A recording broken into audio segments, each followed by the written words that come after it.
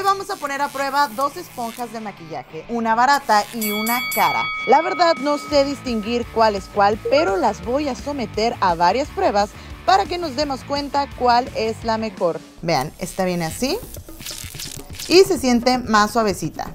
Esta sí la siento suavecita, pero ya que la aprietas está un poquito más dura, así es que... Recuerda que antes de utilizar tus esponjas es importante que las humedezcas para que dejen el efecto adecuado. Ahora vamos a hacer una prueba sobre la piel aplicando esta base. Recuerda que están compitiendo una esponja de 20 pesitos versus 300 pesotes.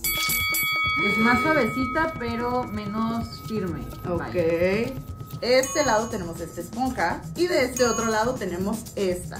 Esta.